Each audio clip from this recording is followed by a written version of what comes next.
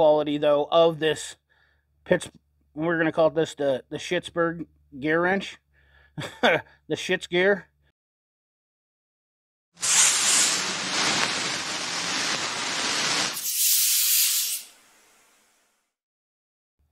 What up, guys? CP the Tool Addict. Woo! what do you think here, Henry? Come on, baby. Let's dance, baby. Let's dance. A little in your pants. Dance. A little in your pants. Dance. A little in your pants. Woo! Sorry, I just had to get up off my jazzy real quick. Or my roller chair. Anyways, guys, we got a great video. Want to fire you up right away. Um, we got a great video today. We've got the holy grail of sockets. We're going to talk about some rebrand stuff. We're going to go right into this, though. Let me get this. I, I keep this thing in my pocket. So uh, you're going to want to see this and stick around. Yeah, that's right. Uh, now, Gearwrench supposedly has launched an investigation. So let's hop into this video, get right after it. What do you say? All right, so amongst us right here, we have a plethora of 10 millimeter sockets. And the reason why I have a plethora of 10 millimeter sockets, except for these two, uh, is because I want to explain to people once again what rebranding does. Okay, this socket, um, this is manufactured. This is a rebrand. This is a rebrand. So you have basically these two sockets right here that are manufactured. And of course, we have others. Okay, that's we're not going to get into semantics about other companies. So we have two to every one of these. Now, the reality of it is, obviously, we have two impact sockets, and they're going to have some differences to them. Uh, as you can see right here, this is very flat. There's no there's no recess in it. And then once again, we go over to this one, and there's a recess. Then we can look in the broaching inside of here, and these are all 3 8 drive, by the way. We can see, I can't even see in there. Can you guys see in there? Let me get the flashlight to this. Give me a little bit more light on this. My eyes aren't. The broaching is very deep on this. See if I can get it in there in the camera. Very, very deep. Now, inherently, that doesn't necessarily cause a socket to be less strength, have less strength, but uh, if you're looking at really getting into it, it, it, uh, it clearly does. But this is also a lot beefier on the exterior, so it's kind of a moot point. Now, for this socket right here, the one thing I'm literally talking about, why we're going into this, is if you look at this, this is a 3 H drive, 10 millimeter, Pittsburgh gear wrench socket. That's right, double stamped, made on the same machine, made on the same machine but double stamped. Now, uh, one of the questions that came up in some of the other videos that I talked about this, uh, because there's a lot of people that talked about how Gear Wrench was absolutely so great. And I know Apex Tool Company is one of the biggest, dirtiest uh, players in the tool game. And in fact, I mean, there's a, number of them. And, and the reality of it is there's a lot of rebrands out there, okay? A lot of companies that are making tools and they're having them made in a manufacturing facility where this easily could happen to multiple companies. It could happen to Tekton, it could happen to Capri, it could happen to Vim, it could happen to multiple. And in fact, it has happened. Husky has been under the gun, Matco has been under the gun. I mean, there's several companies that have been uh, that have launched these type of deals. Now, you do see that this has some broaching, or that, that has a recess here and here. Um, it has four sides for the retention on the ball detent. detent is this socket a terrible socket? No, but it's not my socket of choice, and let me show you why.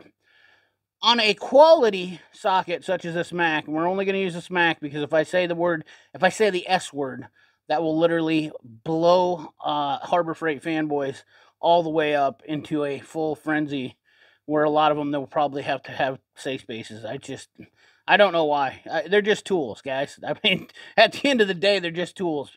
And a lot of these, I don't know what Snap or Harbor Freight puts in the water, but uh, those guys that uh, are Harbor Freight diehards, they just, yeah, they're out of control. But anyways, this broaching you see is a lot shallower. And what that does is, I've done this video before. You see how this bolt starts in there a lot shallower. as a professional mechanic, the name of my game to make money and be efficient is to get a bolt started faster. Now, let's say this was a nut, for instance, and I was trying to get this into a blind area and start it. Let's say I was going to use this socket. There's not so it's not so shallow. Uh, this is a gear wrench mid-length socket. Not too bad because it's a gear wrench mid-length. Um, but if I was to use this one, we can't. Uh, another one, not so bad. Um, and then you have now, the brand is really irrelevant, but I want you guys to see. This is the problem with rebranding cheap sockets. Um, you're losing that ability to reach the depth uh, of getting that bolt started, and now you're going to fight it. And a lot of us mechanics that have been doing this for a long time realize this.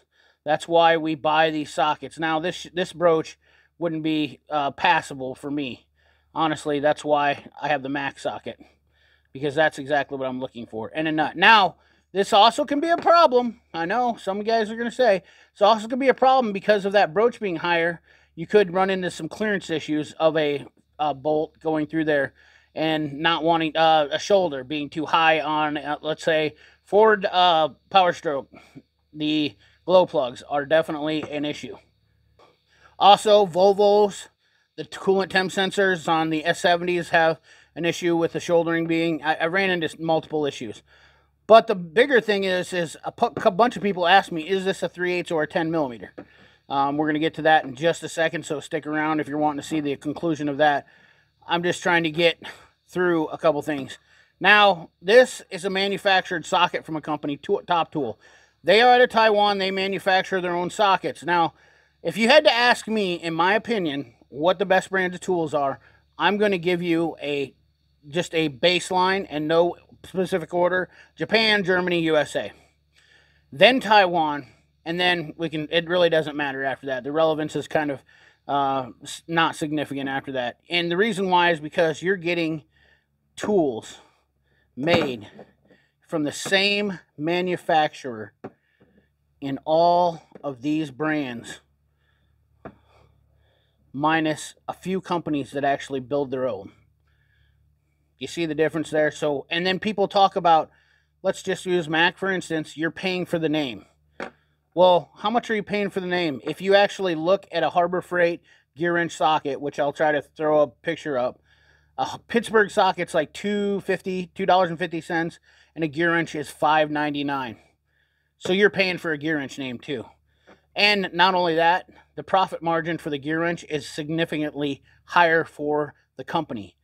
And when people talk about getting bamboozled and say that people that these bigger tool companies that have higher priced tools are ripping you off, I can almost guarantee you because of the amount of cost that they have in overhead with hiring the workers from America versus a sweatshop worker where you're paying somebody's 10 year old child to stamp these out. I mean, I've seen the videos of these, uh, some of these companies. Now, obviously, Taiwan's not as bad. Taiwan's actually a really nice really good company or really good country, and they really have a lot of nice stuff. But if they're coming from China, uh, you definitely have to wonder. Now, if you're willing to let your kid, I've got a job. I, I, if you can convince the government to allow children to work, and you want to lower prices on American-made tools, I'm pretty sure a manufacturer out there is because none of these companies are you know they're not scared but if you want if we can get the government to reduce our standards and work lab, labor force we could probably get that going here in america uh, if you guys see don't have any morals, because that's what I see a lot of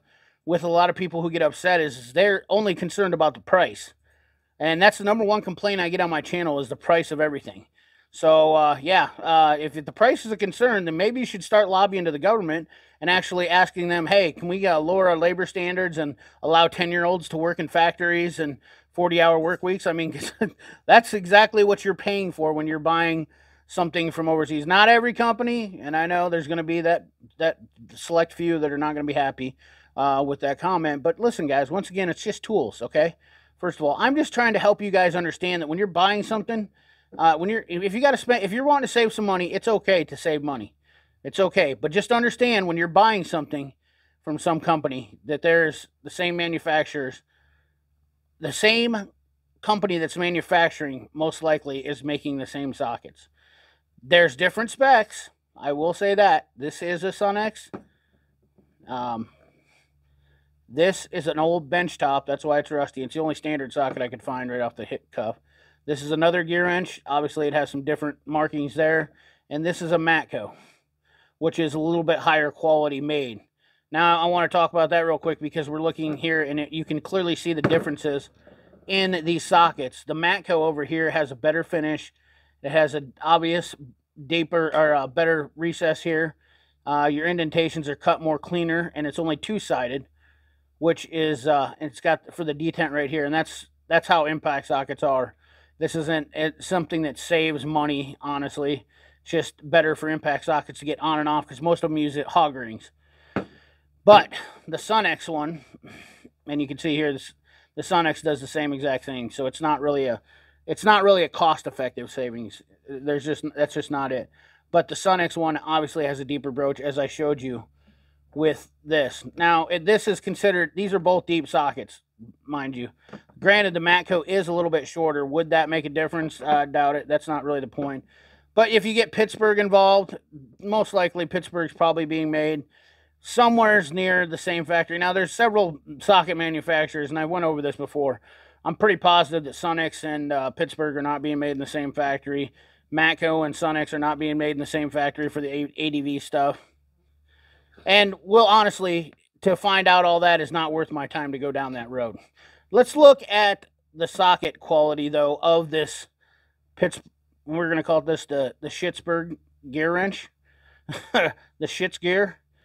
You guys name this socket. Uh, and by the way, once again, I did get a. I'll try to maybe put a screenshot. Uh, Gear Wrench has an investigation launched on this, so let's uh, let's look at the sizing on this and find out: is this in fact a 10 millimeter, or is this a 3 8? Because it's very interesting. Now I'm going to give you the first real dead giveaway of what it is, uh, super quickly. Like so, this is a Mac 10 millimeter, which I know is true. There's a 10 millimeter bolt.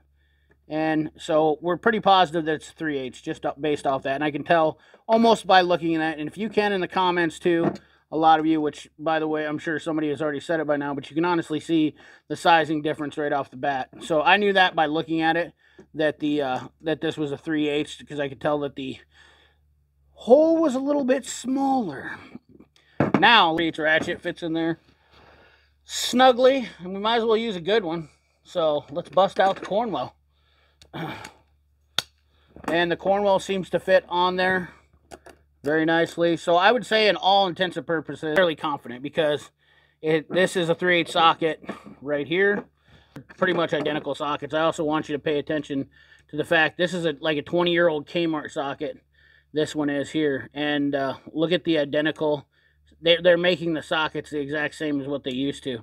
I mean, if, if I had to say uh, that this was the exact same socket and you took the names off them, I would absolutely have to say they are. I mean, the broaching is spot on the same. Everything's the same on it. And this is a benchtop socket made in Taiwan. So, yeah. Anyways, guys, uh, I think I'm going to wrap it up with that because I'm not scientific enough to go on any further with it. But uh, I thought it would be interesting to share some quick measurements and talk about this socket. Show you guys some of the uh, tomfoolery going on in the tool industry. And uh, just because they uh, have a different name on them doesn't mean you're not paying for that name for this socket. It is absolutely 100% being stamped over a Pittsburgh. Um, it is what it is, fellas. So, anyways, guys, remember, like, comment, share, subscribe, ring that bell. Remember, keep your hands dirty and your money clean. Thanks for watching.